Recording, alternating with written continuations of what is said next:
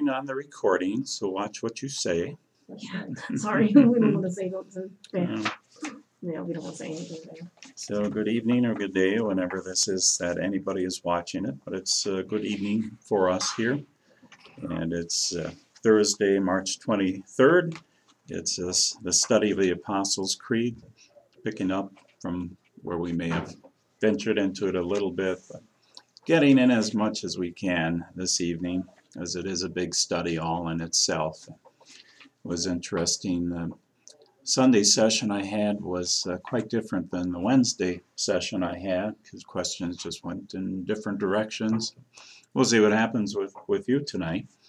And we, um, and in both those sessions, we managed to uh, delve into what is the essence of the Apostles' Creed and, and what it means to us. To uh, begin with prayer this evening, if you turn to the, if you have your Catechism, I want to pray Luther's evening prayer. It's on the back cover of the small one. I don't know where it might be in your book, Steve. You might want to look on with Jan if you don't find it right away. No, they don't have me here. Let's pray together. Oh, come on, Lana. Yeah, we were just going to pray Luther's evening prayer. It's on the back cover of the little small catechism. On the front cover is uh, Luther's morning prayer. They're uh, similar in ways, but of course, morning is different than evening, so there are different things to pray about. So, together, we give thanks to you, Heavenly Father, through Jesus Christ, your dear Son, that you have this day so graciously protected us. We beg you to forgive us all our sins and the wrong which we have done. By your great mercy, defend us from all the perils and dangers of this night. Into your hands we commend our bodies and souls and all that is ours. Let your holy angels have charge of us. Let the wicked one have no power over us. Amen. Good. Are you familiar with it? And if you're not, I, I hope you, you would become familiar with it. That's the Lutheran Book of Prayer too. Now, in the Lutheran Book of Prayer, it's in our worship book and the- and in the prayers. So there is, uh, I I call it a mastery or an artfulness to, to Luther's writing, and especially this prayer. And as we read the explanations of the Apostles' Creed tonight, too. Hello, Mark. You found us. Get yourself settled in. We were just asking if you were coming. Yes. This Yeah. week, yeah, Mhm. since I missed Sunday. And we just prayed Luther's evening prayer, and I'm, I'm remarking on Luther's style, his language, and what he incorporates in this prayer. And, and the last sentence is the same as the last sentence of the morning prayer that he refers to the angels. Let your holy angels have charge of us. Let the wicked one have no power over us. The angels and the wicked one are very much in the, the worldview of Luther and probably in our worldview too, if we consider it uh, deeply enough. Or uh, maybe a lot of people in the 21st century is don't think about angels at all, or don't uh, think of evil of being uh, Satan or, or the devil, or as Luther puts it here, the, the wicked one. And of course, it was written in German, first of all, and wicked one I can pull out of uh, a mighty fortress. Uh, uh, die, die Altbesa find is what he says, the old evil foe. Uh, so that's the German, and I, I think that would be what it is here for Luther's prayer. So we, uh, we do contend with uh, the wickedness of the world. Just can't help but see that it's around us. You watch the news, you see what happened in London yesterday, what happens in an ongoing way in many nations. And just, yeah, it's a very troubling world to live in. And Luther knew that. And in his time, it was even more superstitious about what was evil and how um, evil was out to get you. Um, and Luther uh, brought the Reformation about so that those who were, were suffering in that way, uh, just had fears, uh, could turn to God and find comfort. Uh, it was lost in the, the centuries before Luther, before the Reformation, and is, was the, the sense that God would comfort you and that God wasn't the, the source of all these uh, these evils and sufferings and things that go bump in the night that uh, that scare you, and especially dying uh, would scare you uh, intensely because uh, you see the artwork of the time and wood cuttings and paintings, and the, the demons are just hovering above the one who is dying and ready to snatch their soul. And that was so much in, in people's minds. That the, the true joy of the gospel is that we don't have that to contend with. Uh, Jesus has cared for us in such a way that uh, there is, they have no power over us. And there are holy angels over us. When you think of angels on your own, having guardian angels, the reality of angels, uh, occasionally we will. There certainly are scripture stories, verses that uh, bring that to mind. The, the modern person generally isn't going to be too concerned about what angels are, are doing. But Luther uh, was, and Luther was aware of it, and we draw that from Scripture. Uh, uh, studying angels, that could be a, a big study all in its, itself, and we're not here to do that. I'm just sort of remarking on the, the style of language and the way Luther can draw us in with the, the way he writes about uh, spiritual realities and gospel matters and um, the God of life. So angels. Um, are, are part of, part of um, well, we just had the gallery, and how many angels were there? Mhm. Lots and lots of angels. Was Luther German? Yes. Oh, Mhm. okay, I thought he was, but Mhm. for some reason, I don't know why I thought about it, but it just entered my mind that Luther was a German man. Mhm. Yeah. And of course, the one that founded our faith, but Mhm. our, well, our, our um, denomination, I guess. well, Mhm. And the Refor- Reformation springs from Germany, and he was thoroughly German, down to his love of beer. Um, now, the angels in our gallery and in the artwork that it's based on are girls. You know, the, you know, the girls around here really wait and, and long for that day they can be an angel in the gallery. Um, but the angels that uh, get mentioned by name in Scripture are, do you know who they are? Gabriel. Gabriel, is the messenger to Mary, Okay. and uh, in Revelation there's Michael. Michael. Michael, yeah, he is the, the leader of God's army. And I would think Gabriel and Michael are probably gender male names. so they're both uh, archangels in the hierarchy of angels. Archangels are a lot of about angels comes in the uh, the Jewish writing between the testaments, and they they come up with seven archangels, and I can't remember all seven, and I can never remember the seven dwarves or the reindeer, so I, I'm not going to remember the. Raphael is uh, is another one I, re- I remember. Uh, they are names that, for the most part, if not all of them, you know, uh, Michael and Michael in Hebrew. So there's that L at the end, which means God. That's uh, Michael, uh, Gabriel. Um, so it has something to do. Angel itself, the word means messenger, Mhm. And it comes from the, the Greek word, which means messenger, angelo. And what else can we say about angels? Um, I was asked yesterday where does, where does the idea of uh, guardian angels come from? And there are, well, we can go to Jesus' temptation in the wilderness, and he responded to the uh, temptations of Satan by uh, quoting scripture, Satan threw scripture at him. Uh, and the one where he's on top of the pinnacle of the temple and you know, throw yourself off because doesn't God say uh, He will have His angels guard you, defend you, so that your foot shall not um, stub against a stone, strike a, a stone, so that when it's not misused by Satan that way, that's a, that's a comforting message.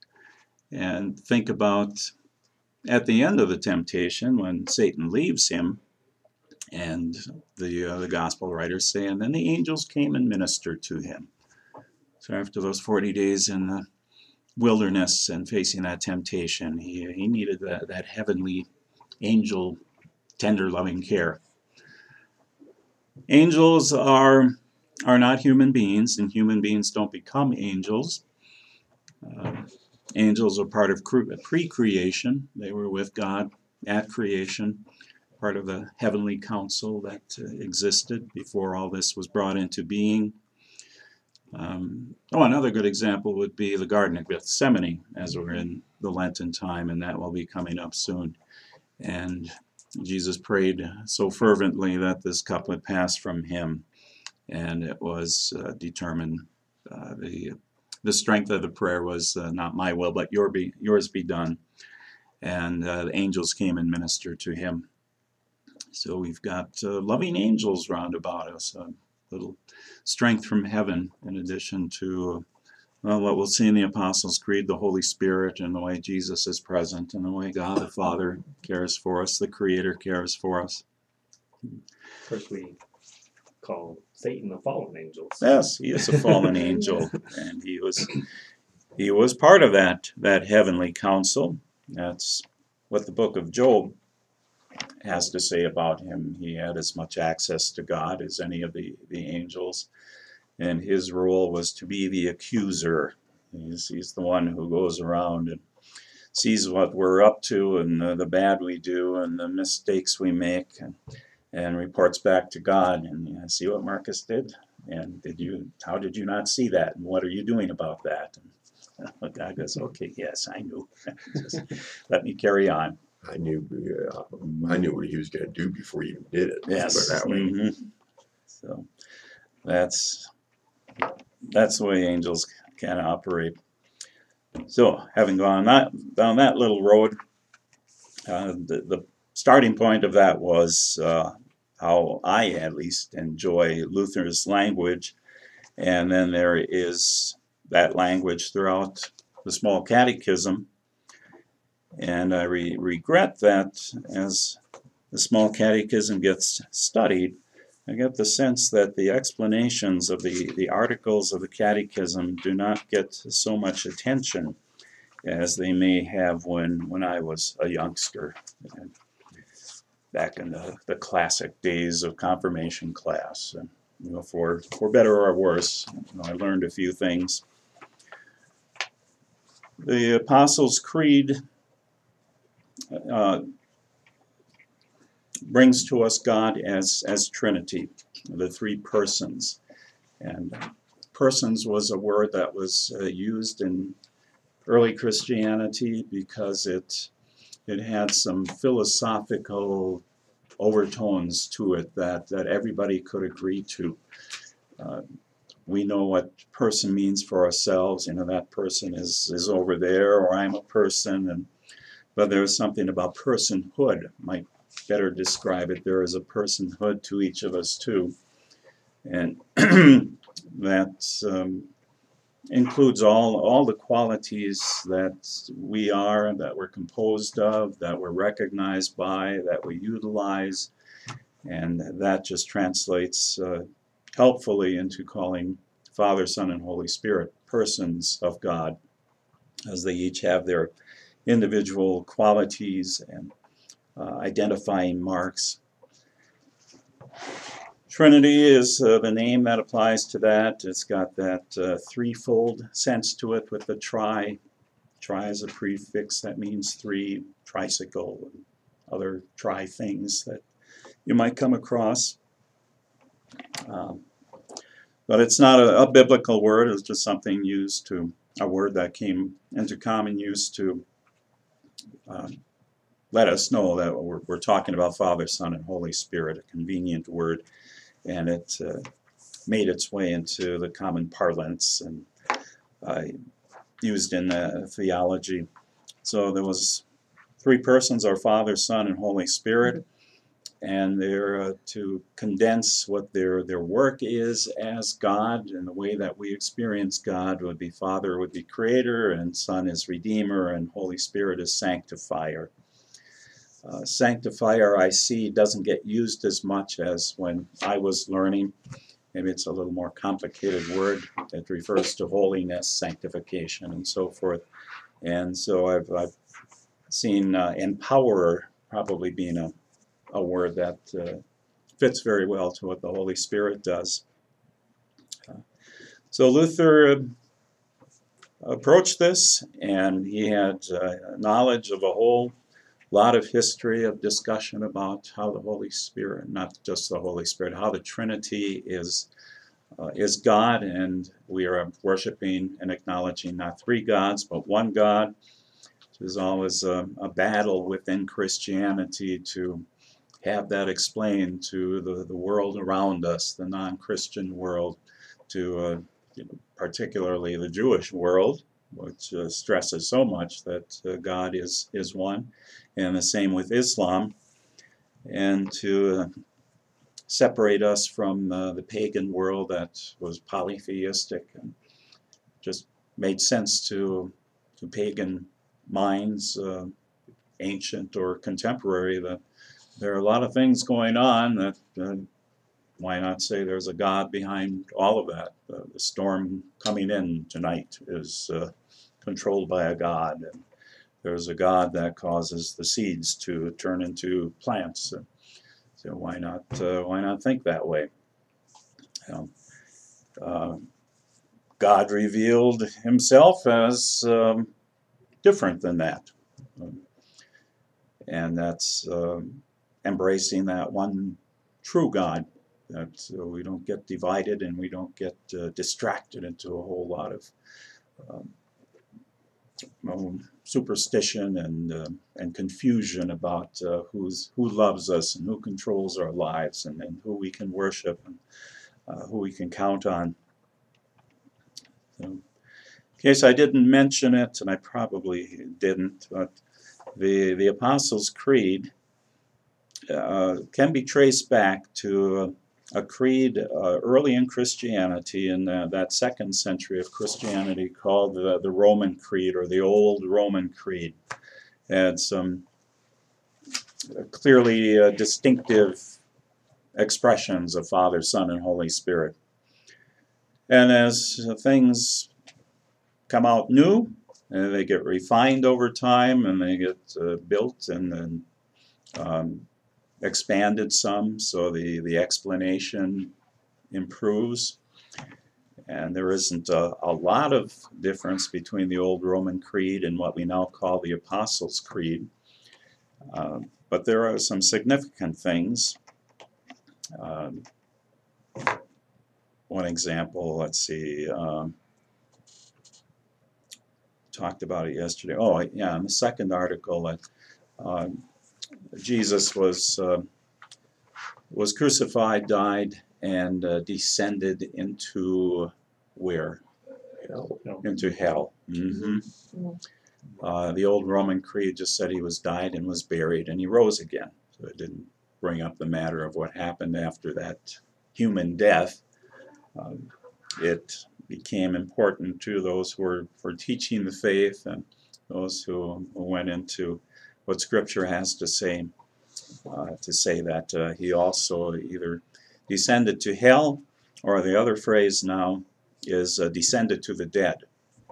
Now, that's not a new phrase. Um, uh, for those of us of uh, Lutheran history, including I grew up Missouri Synod, so you know I've got that in my background. Right. That we uh, uh, grew up my generation, probably your generation, I don't know how far back, but we learned it was the Holy Christian Church. Mm-hmm. hmm Mhm. And here in uh, what are the predecessor bodies of our, our ELCA, we had the red hymnal. well, I say you had the red hymnal because I grew up in Missouri Synod and we had the blue hymnal, the Lutheran hymnal, and it said the Holy Christian Church. When the red hymnal gave way to the green hymnal, then it became the Holy Catholic Church. Catholic with a small c. And that, I, I don't think I've had any more questions about anything than I have about why do we say Catholic. And Catholic means universal, includes everyone who's Christian. So the same idea as Christian, but it uh, it's a more particular word that goes back to the Latin and the the concept of what uh, church was. That the, the Catholicity of being Christian is is not about a denomination, the Roman Catholic Church, uh, which was the Catholic Church because uh, they were the only church up to the Reformation, except for the Eastern Orthodox Church. But that that really doesn't get pulled into the discussion of uh, what is what uh, Catholicism means. So they've always been the Catholic Church, and my suspicion, I don't know the exact reason for it, but my suspicion is that uh, translated into English, Catholic was originally the term that was used. That uh, was the best translation of what the, the Latin was. And as uh, Lutherans in the various uh, subtle and not so subtle ways wanted to make sure they weren't thought to be Catholic and didn't want to identify with Catholics, they threw out that word Catholic and they inserted Christian, which is a Okay, perfectly That's proper what- word. I've, I've gotten here. Yeah. So when The Holy Christian Church. Mhm. This is the NIV Yeah. version.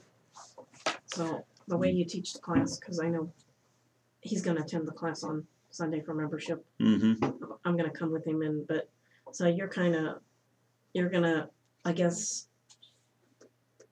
I don't know how to ask this, um, so he will learn the E ELCA's, E's, EL, ELCA. ELCAs. Yeah, we are the, the of- Evangelical Lutheran Church. Church in America. Right, and so it's a little bit different Hmm. from A little bit Missouri different. Synod. I don't Mhm. understand. And I'm not even difference. finished Mhm. yet.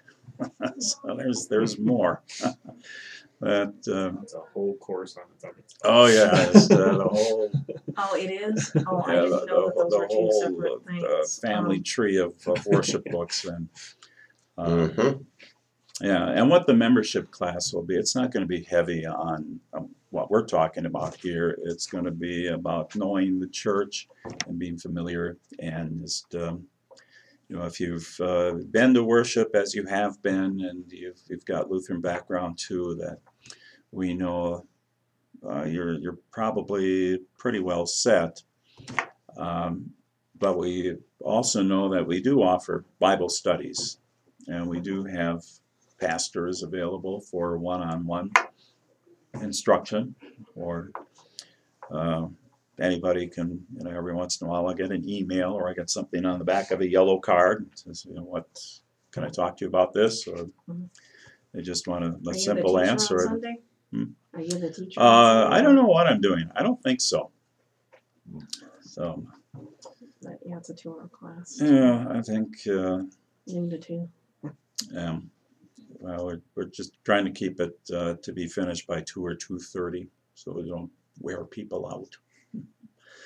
Um, so don't, there, there's nothing, you're not gonna be examined or tested. That's- Um, See, that was, that was a frightening thing too, in my confirmation growing up, is that the Sunday before confirmation was examination Sunday when we, we each got asked by the pastor a certain question or two and we had to answer before the whole congregation. Mhm. Yeah, you remember that? Oh, yeah. Boy, that Oh, was, really? Oh, oh, that was a sleepless night the night before. don't do that anymore though. And you think you really have it down pat, and all of a sudden you're sitting out there Yeah, next to your parents and the pastor. Mhm. Oh, Steve, can you come up here? What's Mhm. What do they do if you answered it wrong? Oh, no, I don't. it, No, they don't. It was, yeah, there was a lot of grace involved. But he had, he actually had me lead the whole Mhm. church in the Apostles' Creed. Oh, And I could not get into the hymnal. I had to know it up here. mhm, I knew it, Yes. Oh, I was gonna say, didn't they let you use a cheat sheet? Mm-mm. But then you learned that. Because that was one of the parts of your communion, Mm-hmm. you know, and that Yeah, was to know that. yeah. So when was the Apostles' Creed formalized? What, it was recognized first in the form that we have it was uh, uh, in the 600s, and it was used in Germany and France. So that doesn't mean it didn't exist before. It's when those who realized, oh, we're using this, and a lot of Christians are using this. You know, where did it come from? And those who had the energy were scholarly enough to go back. They say, well, here, here's where it was first used that we can find. So in between the 200s with the old Roman Creed and the, the 600s, where it, it started getting called commonly the Apostles' Creed. That's uh, there were uh, manifestations of it in between, and generally just uh, the, the same teaching and the, the same consistency with uh, the true Christian faith, the Holy Catholic Church, the Holy Catholic faith, uh, that it becomes a, um, a universal. Um, so one other thing I was going to add as I was going through the worship books as, as they evolve, now we have uh, a red book, but it's really a cranberry book. So, oh, there it is. So, and uh, way over there on the end, those are the the old. Yeah, we've got it right in order. Mhm. There's the red book. There's the green book. There's the cranberry book. And That was the one back in the mid uh, sixties, wasn't it? uh, which one? The red.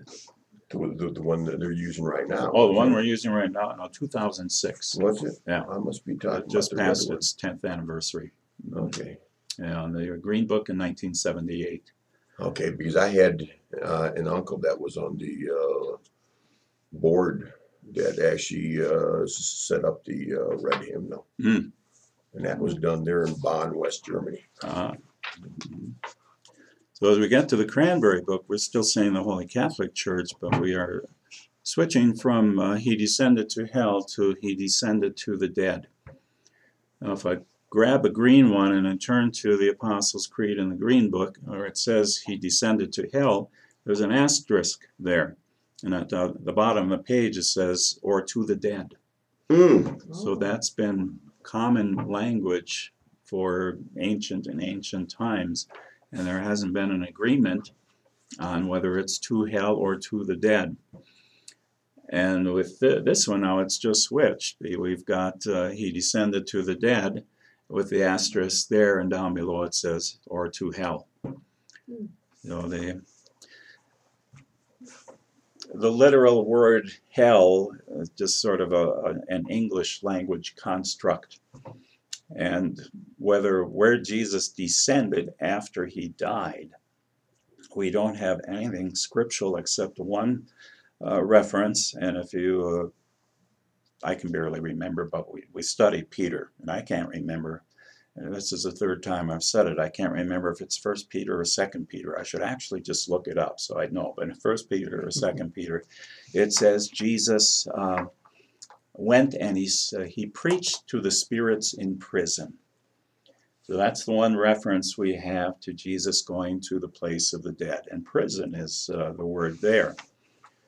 So when we say he went to the dead, we're really borrowing from the Old Testament, where the Hebrew word for the place of the dead is Sheol, and uh, there's really no um, expanded uh, explanation of what happens to us after we die, and uh, the the Jews, the Hebrews, weren't all that concerned about it. They just know that we live this life, and uh, you try to be faithful to God. You've got the law. You're God's chosen people, and you give glory to God. And your fulfillment in life is is following that law, and loving God and loving your neighbor as yourself is the best way to follow it.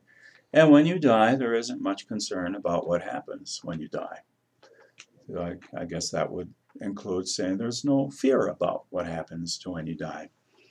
And uh, the best that uh, the Old Testament offers us is it's a place of the dead. So I think using that phrase rather than hell borrows from that, that Jewish understanding, the Old Testament understanding. They're not major things, and they're not things that we are really privy to a lot of uh, insight on because Scripture just doesn't offer us a lot. It's what Jesus did when he was alive and what happened after he died, and then he rose again. Those are the things that matter. But uh, my understanding, uh, I'm kind of jumping ahead by what I want to do because I want to read all these explanations, but while it's on my mind, I'll just say that it's intended uh, to communicate to us uh, in, the, in a strong way that when Jesus died, and crucifixion is far from pleasant. It's a horrid way to die. It's one of the cruelest ways you can put a person to death.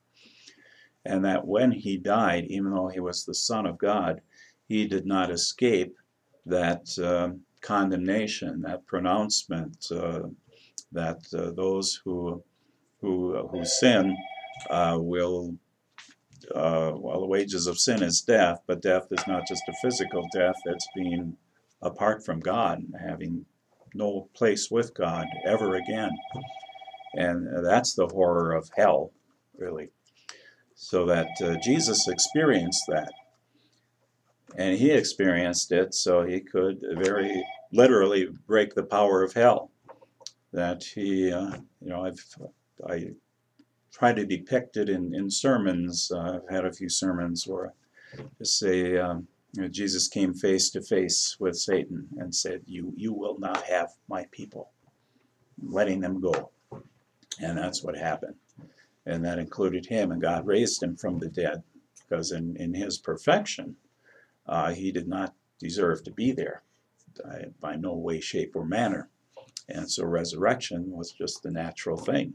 God said, "Let's set this right." Uh, my son, uh, human as he was, still was perfect and he accomplished what I wished every human could do, but they can't because they, they lost that when they fell into sin in the Garden of Eden. Uh, well, those are uh, ways of pointing out what we, we find as we use the Apostles' Creed today in our worship book, and we most commonly use that creed when we are together in worship.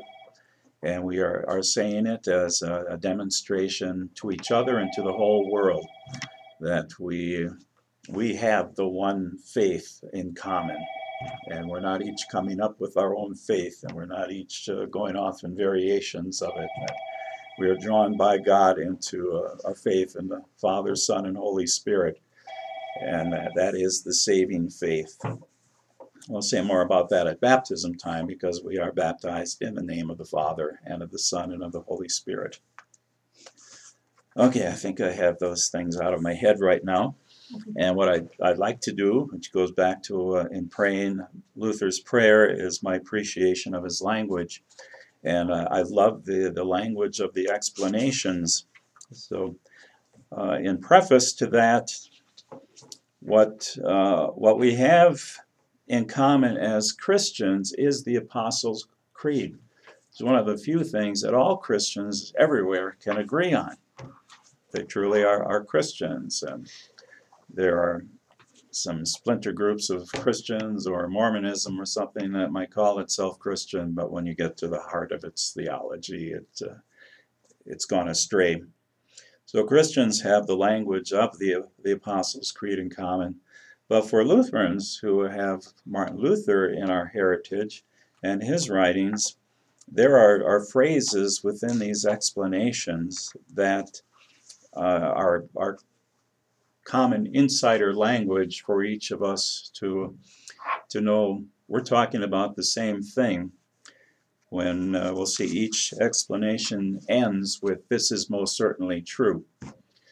So somebody might be telling me a story about what uh, what you went through, and uh, you know, I could take you, you Steve. Uh, you're going to tell me after a 14-hour shift tomorrow, you're going to be pretty tired, and I could say this is most certainly true. Definitely. Yeah. hmm It's a way of saying Amen. That's what Amen means. Yeah, yeah, it shall be. So, um, I think my experience uh, is with pastors a lot, and we, we tend to throw those phrases around as the insider things we, we know.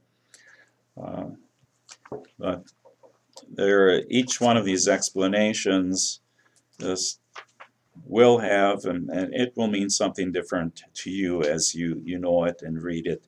And I, I recommend that you um, you kind of keep this around for a part of your your daily devotions or whatever frequency you have devotions that it's not just a devotion book that you might have and it so happens our devotion book now during lent that the church provided you is based on this Mm-hmm. that you can come back to this and savor these these words this masterful language that luther has this uh, artful way of, of describing Okay, so I'm going to ask you now if you would turn to these pages. And uh, we know what the articles of the Creed are, but let's read all three of these explanations together. Read along with me. Beginning on page 11, and uh, the first article, I believe in God the Father. Uh, what does this mean? And together, I believe that God has created me and all that exists. He has given me and still preserves my body and soul with all their powers. He provides me with food clothing, home and family, daily work, and all I need from day to day. God also protects me in time of danger and guards me from every evil. All this he does out of fatherly and divine goodness and mercy though I do not deserve it. Therefore I surely ought to thank and praise, serve and obey him. This is most certainly true. The order of uh, names of description of God in the article is first Father Almighty and then Creator. But in the explanation, Luther brings out the Creator aspects mostly. He saves the, the fatherly side of things to the end of it. So it's the creator that uh, we, uh, we certainly experience day by day at uh, this table. You know, I can count on this table kind of holding me up, but I've got some expectations out of the table and the, and the water and the air, and I breathe the air. Uh, God has created this and it's all for the sake of life. God is a God of life. God loves life. God revels in life and, uh, and more and more life. And that God is a creator is the scripture's way of saying this all started someplace. Uh, before this all started, everything that we experience, whether it's closer at hand or out there in the vast expanse of the universe, um, it, it's got a beginning point. And scientifically, yeah, there are various ways of explaining that. And but uh, Scripture says, uh, well, I'm not.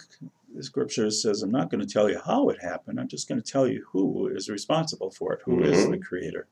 So if you get that right, then you can go off on your your scientific studies and just enjoy what. Uh, the, the, the laws of the universe are and uh, just be thankful there's such a thing as gravity and, uh, and know that, that God put that all into place.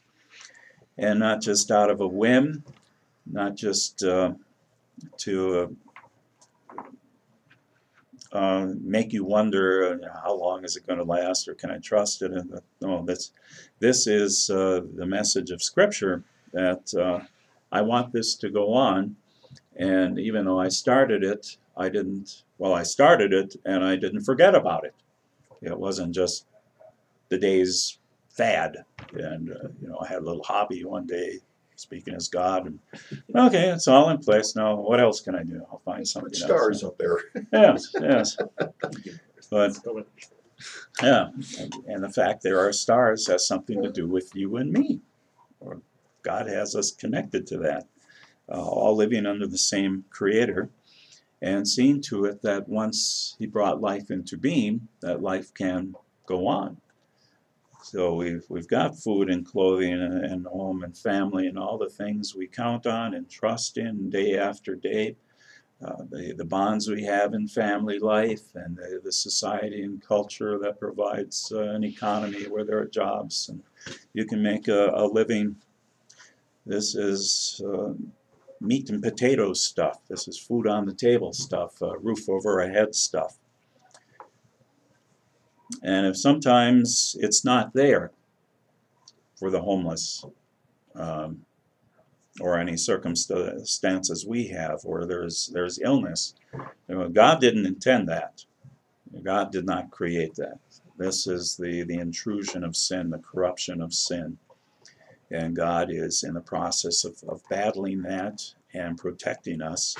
So that gets us into the second article about Jesus. But um, we are uh, in the hands of a, a loving God and not a, a God who's toying with us or making us wonder what's in store for us tomorrow. If today went all right, but how can I count on tomorrow being okay too? If God can have God's way in every way without sin interfering, then it will be all right. So, uh, about in the middle of it is the, the matter of protection. God also protects me in time of danger and guards me from every evil. So we, we've got an idea of what kind of protections there can be in life.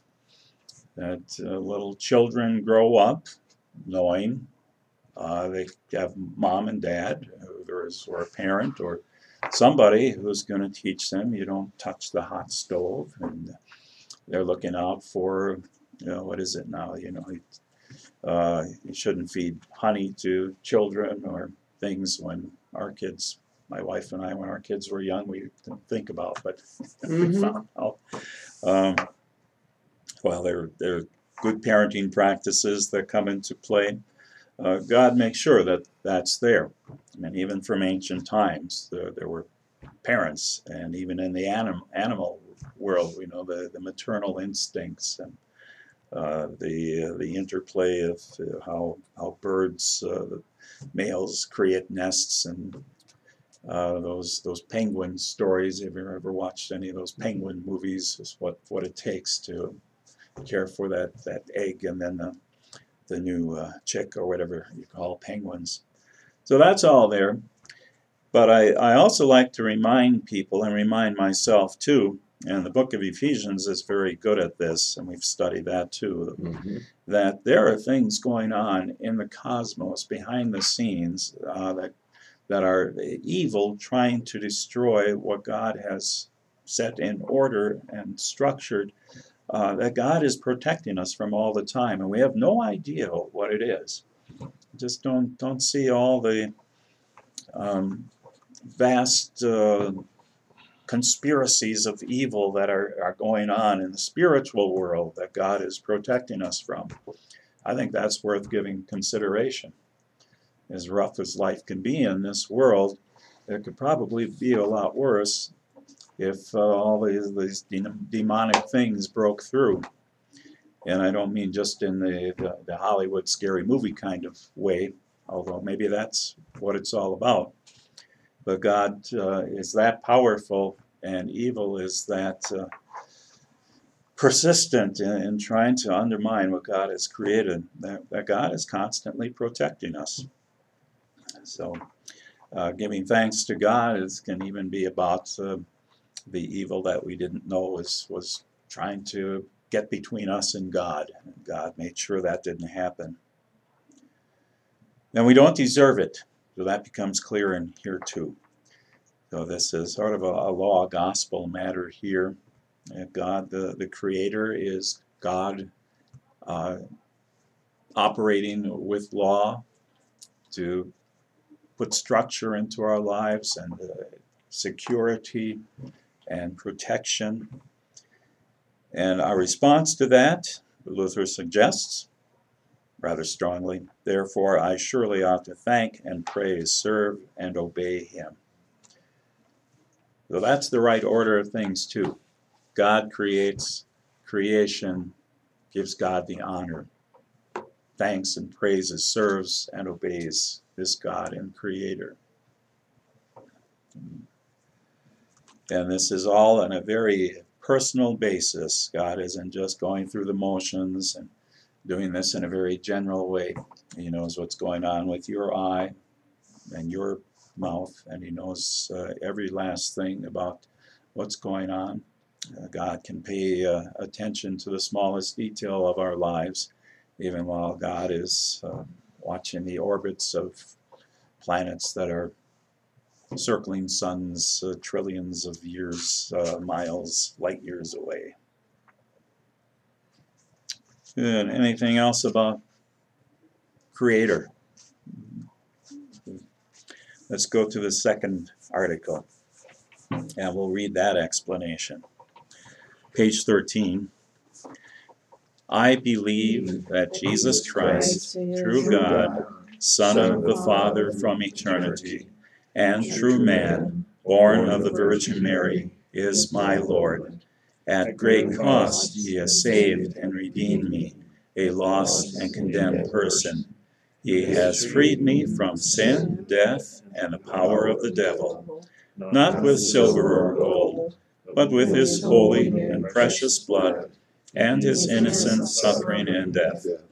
All this he has done that I may be his own, live under him in his kingdom, and serve him in everlasting righteousness, innocence, and blessedness, just as he is risen from the dead and lives and rules eternally. This is most certainly true.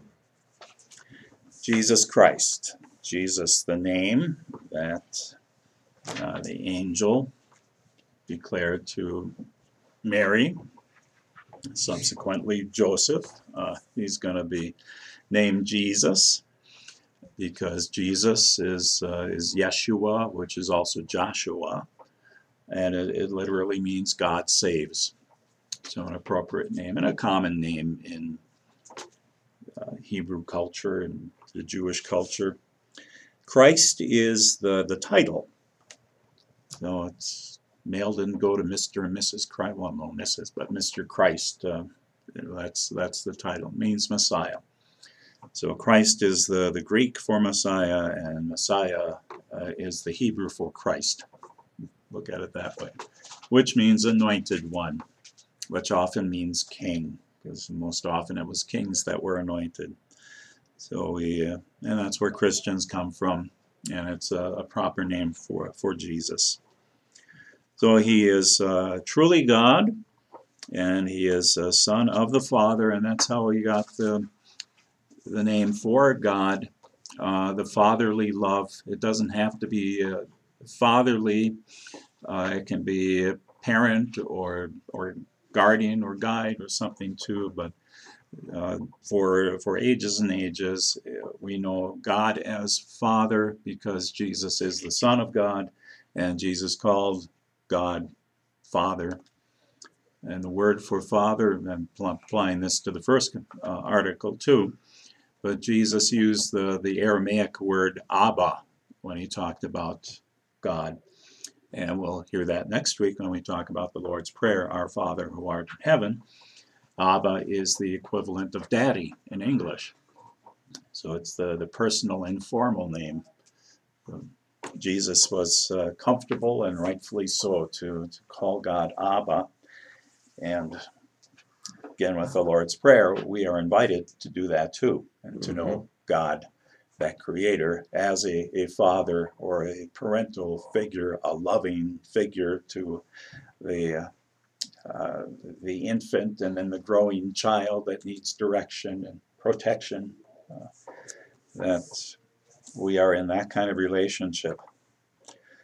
So, but he's truly God and, and truly a human. So, being born of the Virgin Mary uh, becomes important in that.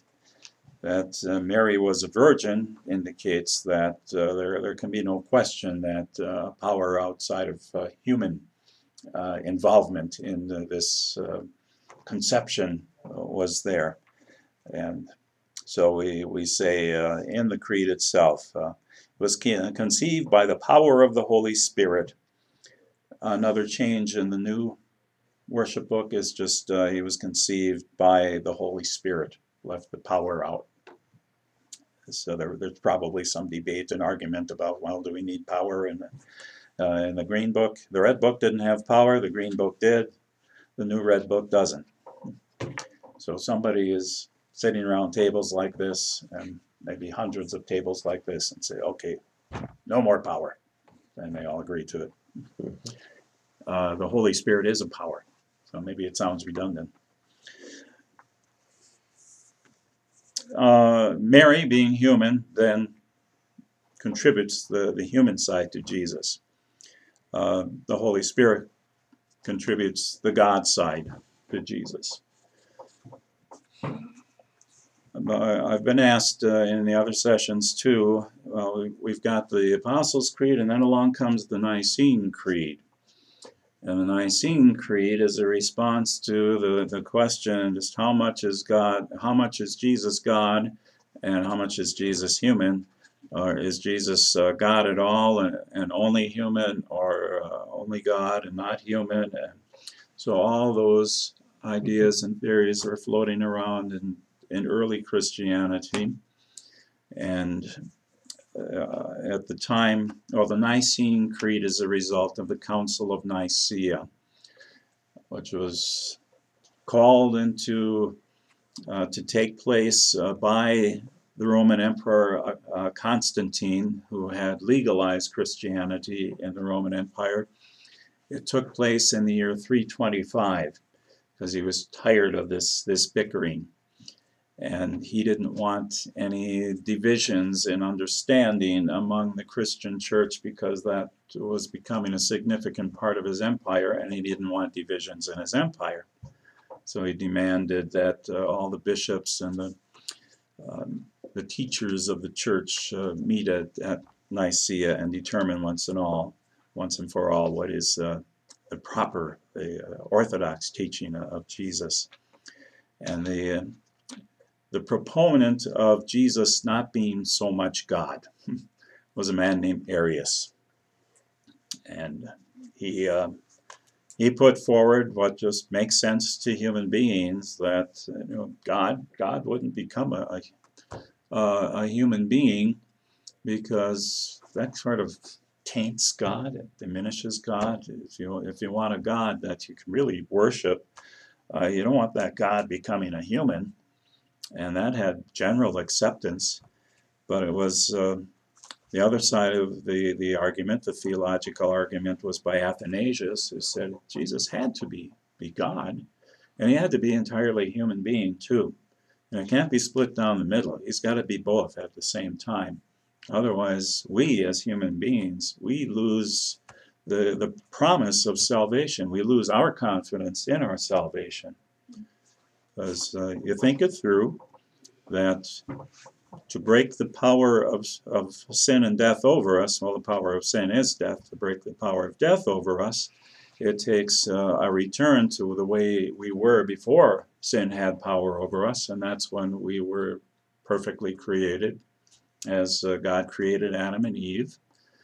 So, uh, and up to, well, then it was 325 AD, now it's 2017. Nobody, no human being has lived perfectly. Um, probably better to, to mention 325, or probably better just to mention the year um, when Jesus was born, 4 BC or whatever they decided he was born before Christ. because nobody had lived perfectly. Otherwise, Jesus wouldn't have had to come. So God said, It's got to be me, myself, God, to live perfectly. So that's that's the God side of things. We got to take this power out of uh, sin's hands, and we'll do it with a perfect, uh, perfect living person. So there's the human being side of it because it has to matter to us. It has to count for us. As, um, of course, God can keep things perfectly, but could a human being ever do that? Well, this way it can. And so Jesus becomes entirely a human being, experiences everything human beings does, is born as a human being, uh, wasn't conceived in the same way, but uh, that birth was very human, and his raising was, and his emotions were, and the temptations were, everything humans experience. Um, his cold and his hunger and his pain were all very human, and then his death was very human. So that when it came to him rising again, then it could truly count for humans too. It wasn't just, okay, well, Jesus gets to rise again because he's God. What good does that do me? Uh, but he was human too. So God said, I count it not just for Jesus, but for everyone. And I'm going to bring it into your lives uh, by baptism. So when we study baptism, we'll just see how that baptism, how we are joined to Jesus in baptism. So his death and resurrection is our death and resurrection. So that's the point here of the Apostles' Creed about Jesus. Um, and the Nicene Creed set that down in terms that uh, settled it pretty well for all of time. There was another creed that came along, the Athanasian Creed, named after this Athanasius guy who stood up for Jesus being true God and true human. But the, the question was more about the Trinity at that time. And uh, to my dismay, the new, can you grab me a green worship book, uh, Steve? The red book does not have the Athanasian Creed in it. The green book still did, and previous ones. And if you're not familiar with it, I'll show it to you to- show you. Um, yeah, it's rather it's rather long, and it's um, page 54. It is. Yeah, it's more than one page. This is the Athanasian Creed. Now, read just a, a little bit of it so you get a, a sense of what it is trying to, to settle and resolve. And uh, so, no doubt, uh, this is the Catholic faith. We worship one God in Trinity and the Trinity in unity, neither confusing the persons nor dividing the divine being. For the Father is one person, the Son is another, and the Spirit is still another. But the deity of the Father, Son, and Holy Spirit is one, equal in glory, equal, uh, co eternal in majesty. What the Father is, the Son is, and so is the Holy Spirit. Uncreated is the Father, uncreated is the Son, uncreated is the Spirit. The Father is infinite, the Son is infinite, the Holy Spirit is infinite. And it goes on that way for quite a while, just to to pound home. Let's not get uh, confused or create confusion by somehow declaring we've got uh, three gods and and the uh, the equality of that what um, the Gospel of John sets forth uh, forth as it uh, begins with a a clear um, indication. It, it wants to repeat what uh, Genesis says uh, in the beginning. Genesis, in the beginning, God created the heaven and earth. And John, the gospel begins, in the beginning, the word became flesh. And John is saying that that word, well, that's Jesus. That uh, sort of gets spelled out in the gospel. And those who, who know the, the word, the logos in Greek, uh, was a, a common determination of a, a, a divine power. So, uh, so Jesus didn't become a human, or the second person of the Trinity didn't become a human till Christmas, till Jesus was born. But the second person of the Trinity was there at creation, as much as God the Father was. And uh, the Spirit is mentioned at creation. The Spirit moved over the waters. Uh,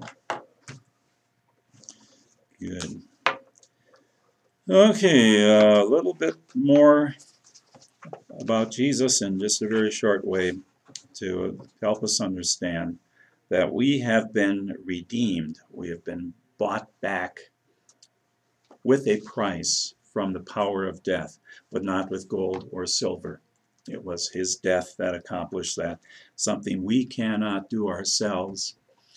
And the, the joyful result of that is that uh, it, it's just simply faith in that trust that God gives that to us as a gift that uh, lets us know we belong to God and we'll never be lost to God.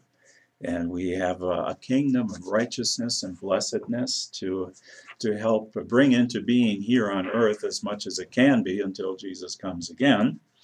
And to look forward to the time that it is in perfection after Jesus does come and joins heaven and earth uh, as they rightfully should be. And uh, he will he will come again. So I don't want to uh, dismiss that or make it seem like less, but uh, that it truly is, because I'm going to move on to the Holy Spirit while we've got little time left and not leave the Holy Spirit out of this. But Jesus will come again. Okay, page 14, and we will read the third explanation. I believe that I cannot, by my own understanding or effort, believe in Jesus Christ my Lord, or come to him. But the Holy Spirit has called me through the gospel, enlightened me with his gifts, and sanctified and kept me in the true faith. In the same way, he calls, gathers, enlightens, and sanctifies the whole Christian church on earth, and keeps it united with Jesus Christ in the one true faith. In this Christian church, day after day, he fully forgives my sins and the sins of all believers. On the last day, he will raise me and all the dead and give me and all believers in Christ eternal life. This is most certainly true. The Holy Spirit, spirit or wind or breath. The, uh, both the Hebrew word and the Greek word for spirit or wind or breath uh, mean spirit or wind or breath. so um, the old way of saying it was the Holy Ghost, ghost wasn't part of the, the Greek or the Hebrew, so uh, it, it did its job for a long time until in a more contemporary translation we uh, substituted spirit for, for ghost.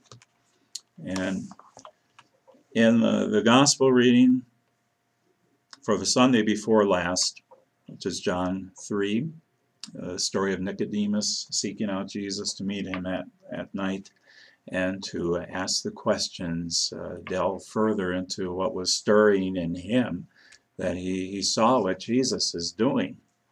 And he should have been on the, uh, the enemy's side, an enemy to Jesus, but uh, he couldn't. Uh,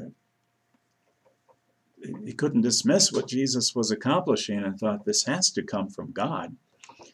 And he was uh, had the courage enough to pursue it more when all of he was uh, he was a leader. He was a, a leader of the, the temple in Jerusalem, and uh, he uh, he went by night, and we can probably assume because he didn't want to be seen in public with Jesus and be identified with him, or at least not too soon, which would create all kinds of problems for him. Uh, another explanation, just to talk about that uh, that story itself too, is uh, he met at night because the tradition was the, that rabbis would study at night. Now, Jesus was the rabbi, but Nicodemus was the, the searcher for truth. So that sort of lines up with the way uh, tradition or the way rabbis were known. They, they did their study at night. So that's another explanation of why Nicodemus went at night. But I think the just the drama of being there, uh, uh, when just he and Jesus and the, this little conspiracy, this good conspiracy is happening, and he gets to ask, "How does this come, or how can it come to me?" And Jesus explains, uh, "You're you're not going to be part of this unless you are born again, or better, is born from above." And how does that happen? We don't jump into mom's womb again. Can't do that. Said, well, the water and the spirit will take care of that. Uh, water we know now in baptism. He was talking about baptism. And how does the, the spirit play a part in that? Well, our understanding of baptism, as we will study more, is that the water and the spirit are, are all there. there are there are those who will separate.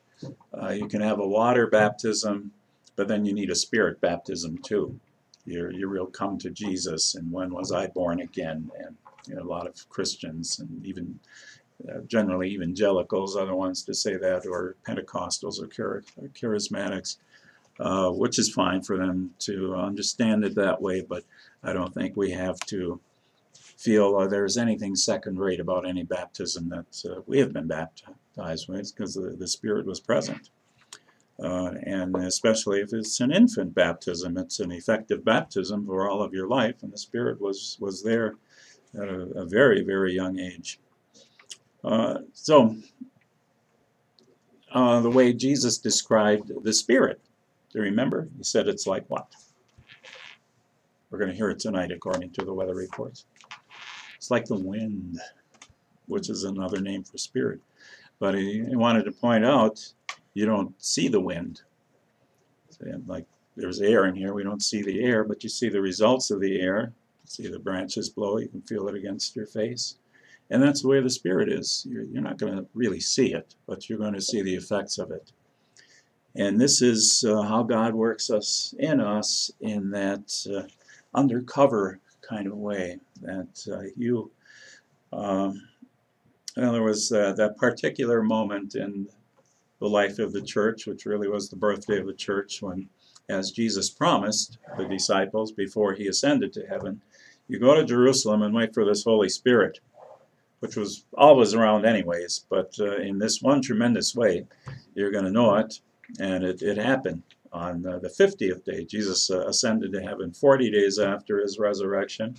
Now, on the 50th day, which was uh, the Jewish uh, religious festival of Pentecost, Penta 5, 50, 50 days. Now it, it becomes 50 days after Passover. Now for us, it's 50 days after resurrection. And the Spirit came with the, the rush, the sound of a mighty wind, and the symbols of the flames on the heads of the disciples, and they were they were absolutely transformed by that. So there was the the sound, and uh, the the flames are sort of the the fire that gets lit in us by the Holy Spirit. I mean that was one thing that could be seen. But what's seen about the Holy Spirit here is you look at the results. Because there is a Holy Spirit, the Creed says there is a Holy Catholic Church, there is a communion of saints, there is a forgiveness of sins, there is a resurrection of the body, and a life everlasting. So you didn't see that Spirit, but it, it worked with the Word so that uh, on individual people and then among all those people individually who've been moved by the Holy Spirit, touched by the Holy Spirit, brought to faith by the Holy Spirit, you now become a communion. You become the church. You become saints. Um, and, and saints are those who belong to God, whose sins are forgiven. Then in the article, uh, the explanation of the article, uh, what what are the results of the Holy Spirit? How do you know the, the Holy Spirit is present? Well, people have been gathered and enlightened and sanctified. Uh, they've been united. Uh, they've been kept in one true faith. Uh, sins are forgiven. We need that forgiveness every day. We are refreshed and renewed every day by the Holy Spirit. Uh, we, we can't get that often enough. Uh, and then in the in the greatest and uh, final and most effective way on the last day, uh, it's uh, the Holy Spirit. Uh, Luther attributes uh, the rising, the resurrection of all saints um, to the Holy Spirit. It will be the coming of Jesus that is the, the last day. So we, we get to live eternally because of the Holy Spirit. And some of that, I consider that very first sentence in the explanation part of that insider language that uh, Lutherans can know. Uh, I believe that I cannot, by my own understanding or effort, or the way I learned it before they upgraded or modernized the language more, modernized it in 1978. I believe that I cannot, by my own reason or strength, believe in Jesus Christ or come to Him. But the Holy Spirit has called me by the gospel, enlightened me with his gifts, gifts and sanctified and kept me in the true faith, in the one true faith. So the fact that we have faith is not because we decided to have faith, but the Holy Spirit saw that that opportunity when we were exposed to the good news, to the message, and every uh, every morsel of who we are said, well, that can't possibly be true. Nobody rises from the dead. And maybe we've got uh, esteem problems. We can't believe God would love me that much. And we certainly can't believe that God would do this as a gift. I, I have to do something about it. And that was, was swirling around us, and we're trying to comprehend it. And the Holy Spirit pops in and says, I'm going to make that a faith for you. So you uh, overcame, uh, the Holy Spirit all, overcame all those human uh, arguments against this being true and this being for me. As in the Holy Spirit has uh, molded it and uh, uh, kneaded it and made it a, a faith. That's, that's the Holy Spirit's work. So that's uh, that's a little over an hour's work here, and I'm trying to keep it to an hour. Can't possibly get everything about this in an hour, so you may have some questions yet. And if you've got one I can deal with yet, yes, Lana. Okay, uh, so what, what does creed means? Law? Uh, creed means I believe. Means- It is a statement of belief. The Latin word is C R E D O, which translated means I believe. That's where we get it from in English. The creed is a statement of belief. Can you explain the word redemption and redeemed Mhm. in other Mhm. terms? Uh, redeemed is uh, we we've got uh, the word salvation for being saved from sin and death. Redeemed works into what we said in the what Luther said in the second article. Um, he saved me and redeemed me. We we use coupons. We redeem coupons, don't we? So you've got a coupon and you're going to give it for your, your Coke or your water, and uh, you get some value for that, and then it, then it belongs to you. Uh, that's a, a little bit of our, yeah, a little bit of str- uh, the best explanation is to think of slavery. There were slaves, and they were under the control and power, and their, their whole life was nothing but slavery. But you could buy a slave out of slavery. You could redeem a slave. So that's to buy back is uh, is redemption. So Jesus bought us back from the power of death, so that we can have life. And it's His death. And he didn't use gold and silver as you would expect if you're going to buy a, a slave, you know, in the American South in slavery days or in the, the Roman Empire. You could buy a slavery a slave and give him or her freedom. So we've we've been enslaved in sin, and Jesus paid a price, uh, did what it it takes to bring freedom. Um, I'd like to just a little extra uh, emphasis um, on what's happening here with God working in our lives. The first article explanation said, God also protects me in time of danger and guards me from all evil. And uh, based on what Lana just asked here about being redeemed, uh, He has freed me from sin and death and the power of the, the devil. Uh, two things that God is doing all the time protecting us and freeing us. And I think of that in terms of uh, what uh, we in our especially in our adolescent years when we're, we're growing up and we're we're in that tension of uh, we we want to be free but we want to be protected too uh, the rebellion of the teenage years I want that freedom got to test that out but we we certainly truth be told uh, don't want to be uh, released entirely from that uh, protective environment of, of home and family. So I, I like the way that balances out too.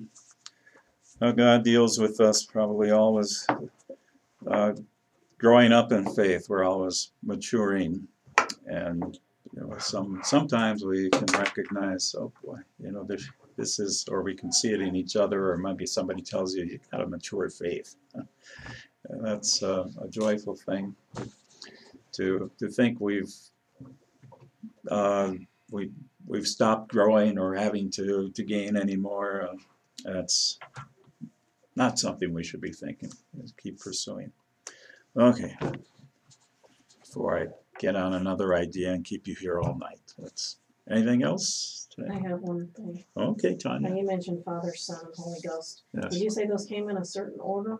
I mean, I know Mm. the one person, I know it's God himself, but And did you say that those came in a certain order or they're not necessarily? don't have to be in a certain order. Because That's the way I just so. understood it was that the Father was always first and then the Son Mm. came and then the Holy Ghost, but I don't know. I just know that all three are one. Mm. That's the only way I understand it. All three are one. And then Jesus himself put it in this order. Not that it always has to be in this order, but it, because it came out of the mouth of Jesus. Matthew 28, before Jesus ascends to heaven and he gives the Great Commission to his disciples Go ye, from the King James Version, go ye therefore into all the world, um, teach all nations, baptizing them in the name of the Father and of the Son and of the Holy Spirit. So, because Jesus said it that way, it's been set out as this is the Trinitarian formula. We'll say it this way Father, Son, and Holy Spirit. That's the way I've always said it. That's Yeah. the way I always understood it, but Mhm. I didn't know if one came in a certain order or the other did or Yeah. didn't. But the only logical Mm. way that I ever saw it was obviously Father, then the Son, and then Yeah. the Holy Spirit, which would have Mhm. been after he died. It, But it, you know, like I said, I just kind of was. It doesn't imply that there is any order of power or ascendancy. Because that's what the Athanasian Creed says that I just read. The Father is equal to the Son, Son equal to the Father, and the Spirit, Spirit equal. They are they are all fully God and truly God. So The Athanasian was created by the Catholics. no, well, that was when there was only one church. Even before there was an Orthodox church, the split between. uh, let's just call it a night. It was it was early, still pretty early in Christianity. when the Catholics separated from the Lutherans and all that stuff, and some kind of like Mm-hmm. that, yeah. Yeah, which was 1517 when Mm. Luther began the Reformation that brought about uh, division. So 1200 years before Martin Luther, the Nicene Creed uh, out of the Council of Nicaea said well, Jesus is truly God and truly human. Uh, but creeds were around before that. And Orthodox split from uh, Catholic pretty much the same time, right?